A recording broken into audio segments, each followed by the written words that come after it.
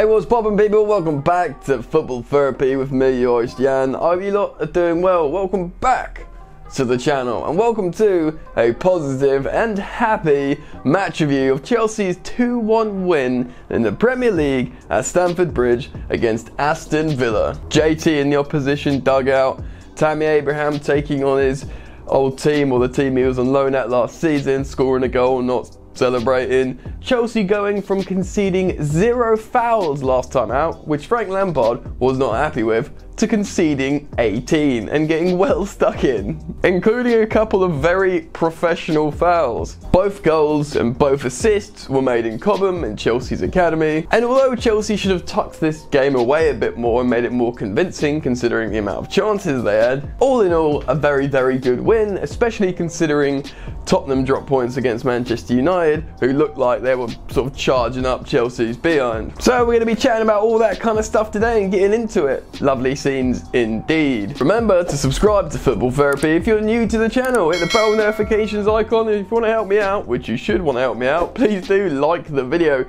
And remember, if you like FIFA 20, go subscribe to Yan Plays, my other channel. The link is in the top of the description. Right then. So of course Chelsea go into this game after a loss, a really frustrating loss to West Ham at home. I went to the game last night at Villa and I, although I was kind of confident Chelsea should win, especially in the sense of bouncing back, but I don't know, man. I felt like Chelsea were entering this weird sort of phase, or could have entered this weird phase of like a sort of drop of mentality where they might have gone through a difficult patch. And Aston Villa generally are no mugs. They got good players across the board, and of course, Jack Grealish had that superb performance away at Old Trafford, but really, Mason Mount showed him who was boss in this game. Just as Southgate's going, oh, should I be picking Grealish over Mason Mount? Uh, uh, oh, oh wow, no, definitely not. I'm only playing Grealish is an absolutely superb player, but it was nice to see Mason have a superb game. And really, he's very, very important to the way Chelsea plays, and I've maintained this. We'll get more into this in a minute, but I've always maintained how, sure, Tammy's great, sure, Mason's great, but really, they're great together. They've been playing together since they were six years old, and you, the chemistry's evident. So, Chelsea needed a win coming into this game, especially at home. All the narrative aside, they just needed to get their heads down and do the biz. Obviously, I was at the game, so I can't take meticulous notes and run you through the general main talking points of the game, but what I will do is talk about the general vibe of the game. So, let's do that, and let's pull up the analysis screen.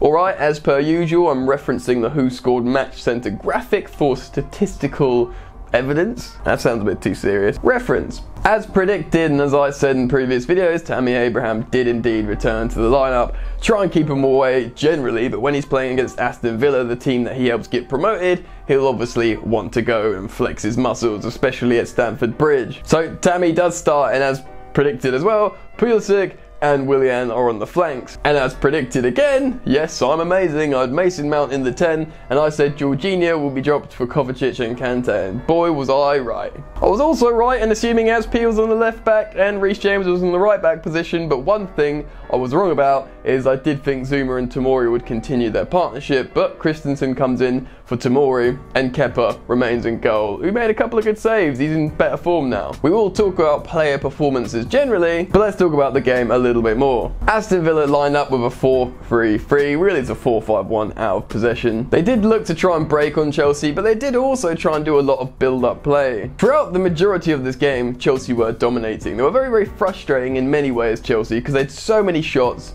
uh, nine shots on target. They probably should have had more on target, and really, they probably should have tested Heaton better. Actually, Heaton made one or two proper top class saves in this game. John McGinn looked threatening, but nothing really too pokey. Grealish had moments when he was on the ball when he looked good, but the crowd were giving him a bit of banter and getting on his back.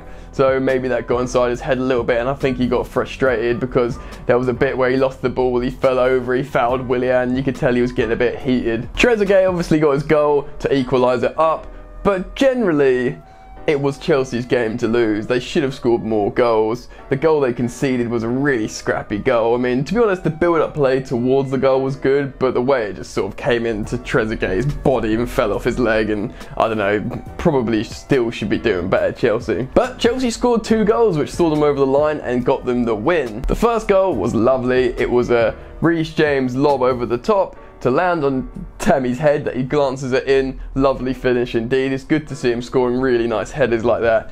Out of respect for the fans, he scored it right in front of the Villa fans. He didn't celebrate. Obviously, he had an amazing season with them last year. He scored like the most amount of goals a centre forward has scored for Villa in like 50 years or something. They were singing his name as well. He was really well received by the Villa fans. I think though Villa do banter Chelsea and Chelsea give some back, there is a sort of peculiar respect there because obviously they've got John Terry and they had Tammy Abraham. You know, really there's got to be some form of relationship there because of that, maybe. Anyway, lovely goal by Tammy Abraham to open up the scoring. When Chelsea concede late in the second half, Tammy's the first person to cheerleader on the halfway line trying to cheer up his teammates. And to be fair, Chelsea come out in the second half and they look much, much better. In the second half, Chelsea do score the winner. Tammy Abraham wins the ball in the box on his chest, chests it down to Mason Mount, who sort of volleys it straight on and puts it in the top of the net. Really good finish, really nice assist from Tammy. And this kind of thing is testament to what I've been saying about their relationship and chemistry playing together. It was great to see Mason Mount score another goal and get his scoring boots back on, but again, although he's got that great combinational play with Tammy offensively,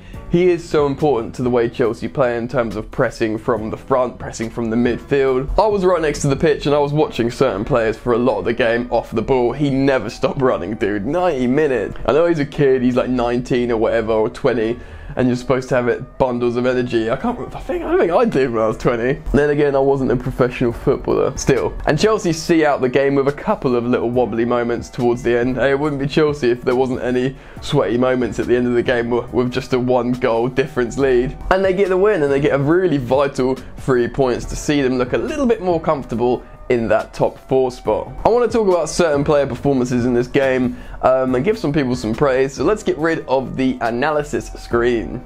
Alright then, obviously everyone involved with the goals did really, really well. Reece James had really, really good stats and metrics this game. I actually tweeted out on the Football Therapy account and he got his assist. Mason Mount was very good. Tammy Abraham was very good with his goal and assist. Kovacic was superb. Ball carrier, did a professional foul when he needed to, which Frank Lampard would have liked. Carried the ball very, very well. Kante wasn't amazing. I know a lot of people were praising him, but I was watching him again a lot off the ball. He wasn't up to his usual standards. He was okay, but when Kante's not very good, it's noticeable. Maybe just my opinion, but that's what I felt. Azpi pretty decent, he did demonstrate some of his 1v1 defending, which is very good in the left back position. Again, he's not a very offensive left back, but that's okay. Chelsea need to be better defensively, and when you've got Reece James bombing on the right flank, you can kind of like deal with it. Zouma wasn't the best in this game. He had a couple of shaky, erratic moments where he just whacks the ball and clears it peculiarly, where really he's just got time and space to pass it. Not awful, but a little bit concerning, and he was probably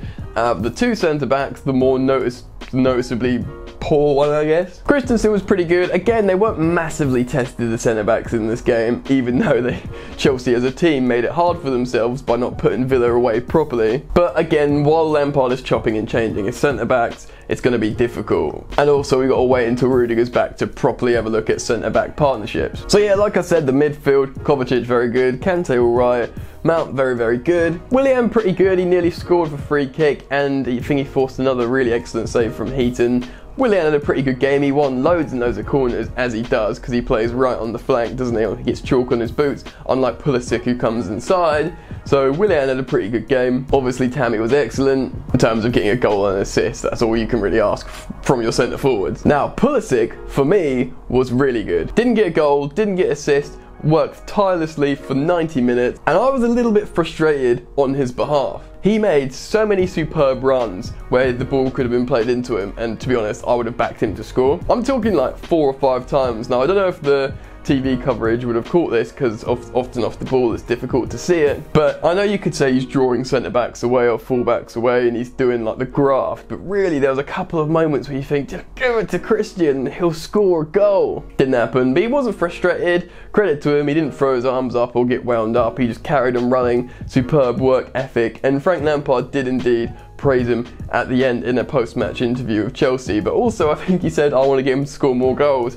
But you gotta get his teammates to pass the ball to him. Anyway, I'm really, really pleased with Pulisic. We had substitute appearances from Hudson Odoi and Michy Batshuayi and Jorginho. Jorginho came on very late, didn't really do much. Batshuayi didn't really do much. When you're not really chasing a goal and you've given more time, he can be a bit of a passenger. He does run about a lot though, but I feel like he was staying up the pitch too much when really Chelsea had dangerous moments towards the end. And with Hudson Odoi, it's going to take some time. He needs to start a few games, maybe like some cup games. I imagine he'll start against Nottingham Forest and stuff like that. Hopefully a couple of other games, but very, very talented, just didn't get the chance to do his thing in this game particularly. Generally, I'm happy with this game. I'm happy with the performance. I said 3-1. I knew Villa would score. It could have been 3-1 quite easily with the amount of chances Chelsea had, but you take a 2-1 all day against a team that were buoyed from a decent result at Old Trafford. And remember, Man United just beat Jose Mourinho Spurs at Old Trafford, so things are getting shaken up in the Premier League a little bit. Anyway, what do you guys think of this game? Let me know in the comments below. Are you happy? Who are you impressed with?